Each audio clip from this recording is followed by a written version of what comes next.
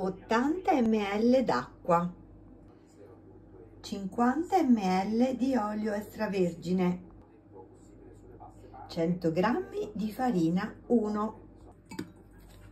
Ho aggiunto poi altri 100 g di farina integrale. Aggiungo ovviamente i liquidi ed ecco la mia pasta brisée fatta in casa. Bella morbida, una favola. Ho tagliuzzato quattro belle zucchine medie.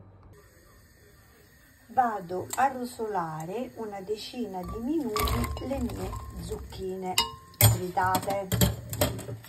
Fiamma media per due minuti, poi bassissima per 8 Trascorsi gli 8 minuti controllo, le mie zucchine sono pronte, adesso le, le metto nel piatto.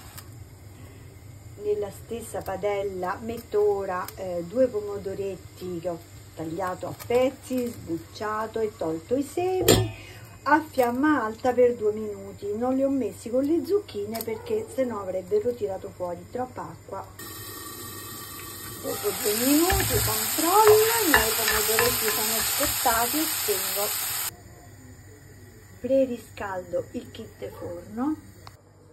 Aggiungo nella mia teglia eh, già coperta con la carta forno l'impasto che ho spianato.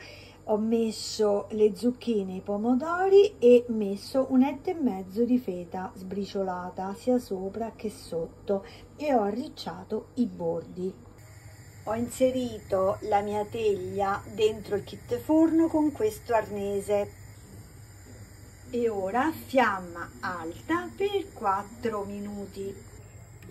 Dopo 4 minuti a fiamma alta controllo adesso lascio a fiamma medio bassa per 30 dopo 30 minuti controllo ecco qua è pronta adesso lascio in autocottura per 10 ed ecco pronta la mia bellissima tortina con zucchine, feta e pomodorini.